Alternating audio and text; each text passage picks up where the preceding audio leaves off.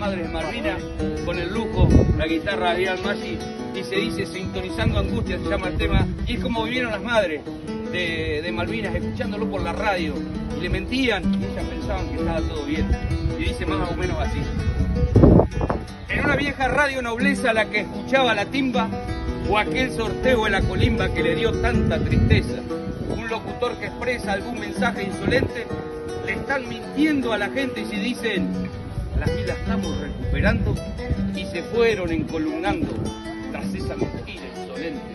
Un bombardeo solidario de ropas, telas y lanas, madres y abuelas como arañas haciendo abrigos a diario, chocolates con alientos cálidos jóvenes que pelean como fieras todo fue a parar una trinchera de olvido y de sazón, nos engrupieron a razón de comunicados que la radio diera.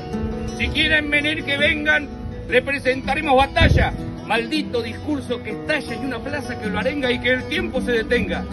A saber que ese fue nuestro rival, cobarde, ingrato, dictatorial con el arma más ofensiva, jugando él con la vida de soldados incondicional a las islas indefensas de un tirón se lo llevaron y allá fue que se plantaron sin escudo ni defensa. En la soledad inmensa que la milicia lo dejó todo su temple afloró.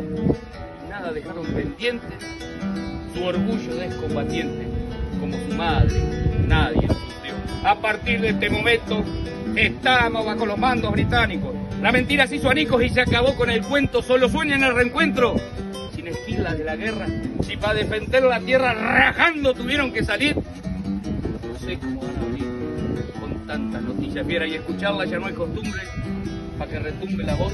Y aquel locutor feroz que sembró tanta incertidumbre y que estos recuerdos vislumbren aquel gobierno y su torpeza, la vieja radio nobleza, solita un día nos va a gritar, ningún gobierno va a pagar la deuda, la deuda que hay con ella.